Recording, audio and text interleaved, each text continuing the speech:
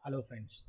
Uh, today we saw a very big fall in the market.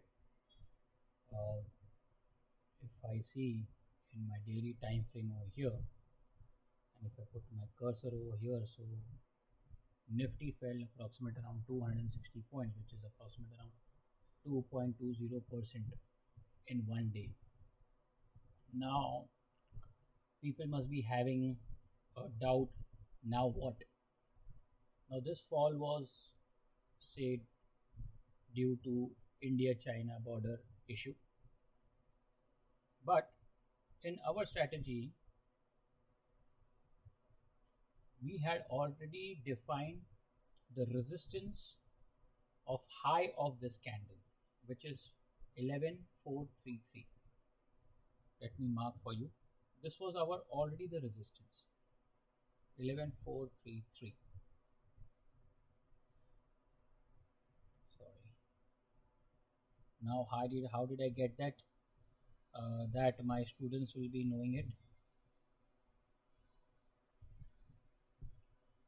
So let me mark over here as 11433 now what happened? This chart is a monthly basis chart. So for any market to continue its uptrend needed to close above this high of March month. But what happened? Today itself it gave a closing, a monthly closing below 11,433 and gave a closing of 11,387.50 which is still a green candle monthly basis but resistance came into play exactly at the last day of the month. Now, uh, how did that happen? How did the resistance made sure that it did not close about that particular number of 11,433? Uh, I don't know, but I was waiting for this number to either close above or close below. Now, this was a strong resistance now I'm not saying that since it is closed below the resistance, that means the selling will start. All I'm trying to say that there could be a pause in the market for some time until unless our border China, India China border issue is not solved. Till that time, uh, one should consider the option of staying light and uh, keep booking profits as much as possible and not hold stocks for a long time. Now, whether this 11,433 will have more importance, uh, I will come to know only in the next month of 30th if the market closes above this 11,433 number. Now, what should we do? What next? Now, let us just uh, analyze this weekly now we had a very steep uptrend in the market. There was hardly any pullback. Now if you see we had just one pullback, two, three, a small minor pullbacks over here, over here. But Nifty was overall in a very bullish uh, trend. Now what will happen next? Now if I see due we due to we have a, a monthly uh, resistance which could not give a closing about that number, I would connect this two as my downward sloping and I would extend this. And another thing, I would connect this slope as uptrend market which was very steep. So as of now i can understand that we had an weekly engulfing candle over here. So the pressure was very enormous. Now if i go in my daily time frame see this exactly the same trend it followed and it stuck to the trend line but never gave a you know a amazing rally like this. So it was in a sideways movement now market always discounts it. Market knew that something is going to happen at 11433 level. So if you see we had a gap up openings but on that gap up market wouldn't give a rally after that. It used to move in a very smaller range after the gap ups. And suddenly they just gave the entire selling in the market. Now what would i do in this situation? I just remove all this trend lines. So for me market i'm still bullish in the market.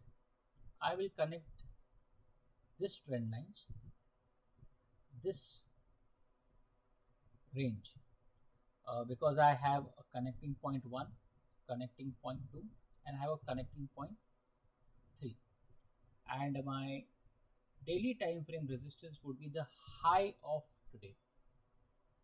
Now I'll just zoom in so that uh, you can see a proper picture. Now if you see this was the ranging market over here